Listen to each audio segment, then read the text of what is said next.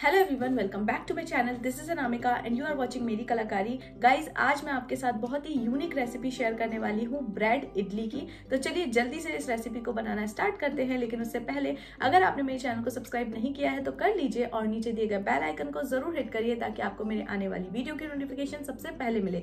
So quickly see video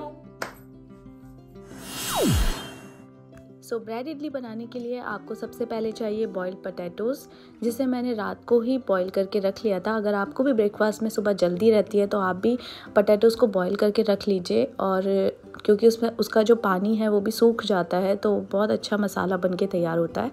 तो ये मैंने पहले ही कर लिया था और अभी मैं इसे मैश कर रही हूँ। मैश करने के बाद मैं बनाने वाली हूँ दो तरीके के मसाले, जो एक तो सिंपल बनाने वाली हूँ, जिसमें मैं सिर्फ़ नमक और थोड़ी सी मिर्च ऐड करूँगी, जो मेरे बेबी के लिए है, और एक मैं बनाने वाली हूँ, जिसमें आप सारे वेजीज़ ऐड कर सकते हैं, जो भी वेजीज़ आपके पास अवेलेबल हैं। तो अभी मेरे पास अवेलेबल थी शिमला मिर्च तो मैंने एक में शिमला मिर्च डाली है। अगर आप चाहें तो शिमला मिर्च को थोड़ा सौते कर लीजिए, फिर डालिए। मतलब प्याज और शिमला मिर्च जो भी आप डाल रहे हैं, जो भी वेजीज़ आप डाल रहे हैं, उसे थोड़ा सा तेल में या घी में सौते कर लीजिए, और उसके बाद इसमें ऐड करिए, ताकि टेस्ट अच्छा आए। तो ये मैंने एक मसाला बना के तैयार कर लिया। इसमें मैंने ज़्यादा कुछ भी ऐड नहीं किया है और थोड़ा सा मैं मैगी मसाला भी ऐड कर रही हूँ टेस्ट एनहेंस करने के लिए। जब आप ब्रेड इडली बनाएँगे तो उसमें सिर्फ़ आप सिंपल जो मसाला है वही बनाएँगे तो बहुत अच्छा टेस्ट आता है। मैंने ऐसा देखा है कि मैंने जितने बार भी सिंपल मसाले में बनाया है वो ज़्यादा टेस्टी लगता है, क्योंकि हमें इडली का टेस्ट है और इडली जो होती है थोड़ी सिंपल होती है।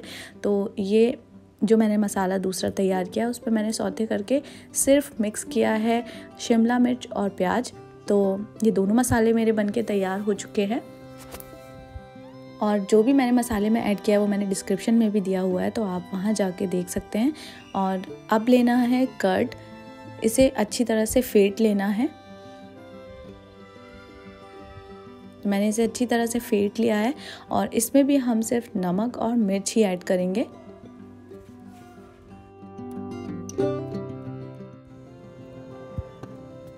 तो नमक मिर्ची ऐड करने के बाद अच्छी तरह से इसे फेंट लीजिए और फेंटने के बाद इसे साइड में रख दीजिए क्योंकि अभी हमें इसका यूज़ नहीं करना है।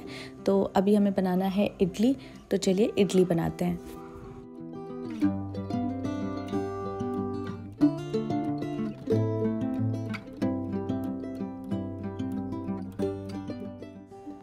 तो ये मैंने ब्रेड लिया है। आप तीन एक साथ भी काट सकते हैं और अगर चाहें तो एक एक करके भी काट सकते हैं और इसे हमें गोल कट करना है। तो आप या तो ऐसे कोई ग्लास ले लीजिए या फिर आपके पास कोई ढक्कन वगैरह है किसी चीज़ का तो आप वो ले सकते हैं।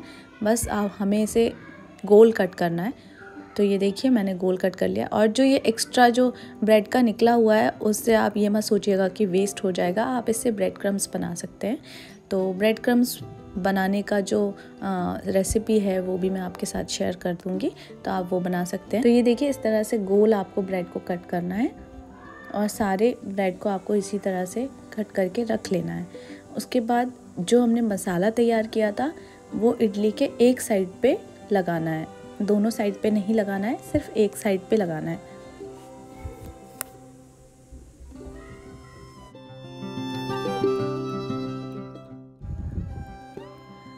तो आप इस तरह से मसाला लगा लीजिए सारी इडली में और लगा कर रख लीजिए।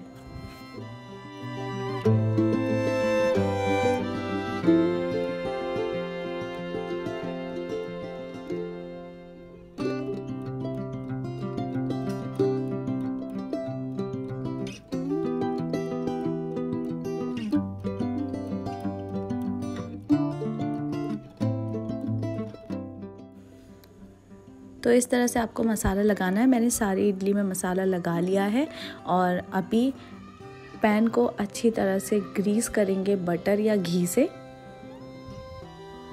इसमें बहुत ज़्यादा ऑयल या घी नहीं लगता है तो आप भी बिल्कुल भी मत लगाइएगा। मैंने बस बटर से थोड़ा सा ग्रीस किया है पैन को और अब जितनी भी इडली हमने बनाई है, पैन में जितनी आ सके आप उसे रख दीजिए। तो मैं चार चार करके रख रही हूँ। आप ज़्यादा भी रख सकते हैं।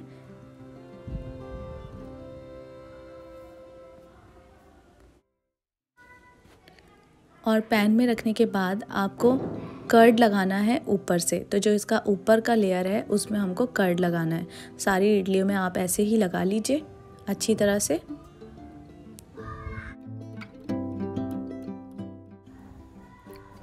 कर्ड हम इसमें इसीलिए लगा रहे हैं ताकि इसका जो टेक्सचर है वो इडली की तरह आए, फूला हुआ। तो इसीलिए इसमें कर्ड लगाना है अच्छी तरह से ताकि अच्छी तरह से फूल जाए। और जब कर्ड लगा लेंगे तो इसे ढक देना है किसी बर्तन से। दो तीन मिनट के लिए आप इसे ढक दीजिए। और तब तक हम तड़का बना लेते हैं। तड़का बनाने के लिए आपको एक बर्तन में आप घी डालिए और उसमें सरसों और कड़ी पत्ता ऐड करना है आपको, सिर्फ़ सरसों और कड़ी पत्ता। और कुछ भी ऐड नहीं करना है। और ये तड़का बन के तैयार हो गया है और इडली भी बन के तैयार हो गई है। तो आप इसे निकालेंगे। देखिए कितनी फूली फूली सी लग रही है। तो जब आप ढक के रखते हैं तो ये इतनी अच्छी तरह से फूल जाती है इडली की तरह। अभी मैं इसका टेक्सचर आपको आगे दिखाती हूँ कितना अच्छा आया है। देखिए नीचे भी बिल्कुल टिक्की की तरह ये सिक चुका है अच्छी तरह से। और ऊपर तो टेक्सचर आप देख ही रहे हैं। तो अब इसमें तड़का लगा देंगे थोड़ा थोड़ा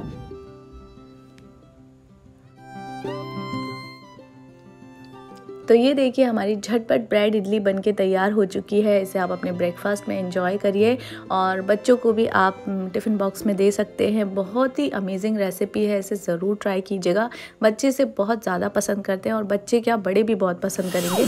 तो आप इसे ज़रूर बनाइएगा। देखिए, इसका टेक्स्चर कितना अच्छा आया बिल्कुल इडली की तरह दिख रहा है ये और खाने में भी बहुत अच्छा लगता है। और बहुत ही अमेजिंग रेसिपी है और बहुत ही इजी है। आप सब भी इसे इजीली बना सकते हैं अपने घर पे। तो बनाइए इंजॉय कीजिए अपनी फैमिली के साथ और इंस्टाग्राम में अगर आप बनाते हैं तो मुझे टैग ज़रूर कीजिएगा। और मेरा जो अकाउंट है स्क्रीन पे दिख रहा है तो अभी तक अगर आपने फॉलो नहीं किया, जल्दी से जाइए फॉलो कीजिए वहाँ पे डेली अपडेट्स के लिए।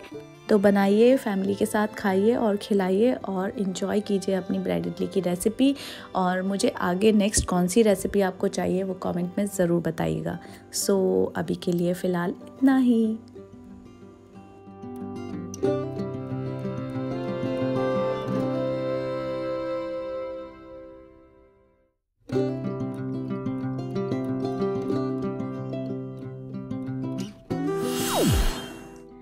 गाइज़ आपको मेरी ये झटपट ब्रेड इडली की रेसिपी कैसी लगी मुझे कमेंट में ज़रूर बताइएगा। और अगर वीडियो पसंद आया हो तो प्लीज़ इसे लाइक ज़रूर करिएगा और अपने फैमिली एंड फ्रेंड्स में भी ज़रूर शेयर करिएगा।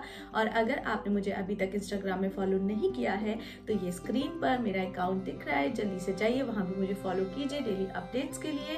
एंड अभी चैनल को सब्सक्राइब नहीं किया है तो जल्दी से कर लीजिए और नीचे दिए बेल आइकन को ज़रूर हिट करिए ताकि आपको मेरे आने वाली वीडियो की नोटिफिकेशन सबसे पहले मिले। So see you in the next video till then Bye-bye.